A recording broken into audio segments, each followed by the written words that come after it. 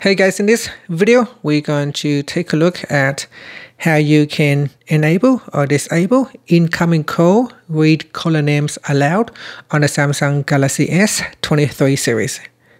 First tap on the home button to return back to the home screen. And from the home screen, swipe down at the top to open up quick settings. In here, tap on the settings icon. Now in the settings page, we scroll down and then tap on accessibility. Next, go down and tap on interaction and dexterity. Then we go to the interactions section and tap on answering and ending calls. At the top here, tap on read caller names aloud, toggle button to switch it off or turn it on. After that you can tap on the left hand side panel. In here you can choose how read, uh, read caller names aloud uh, works.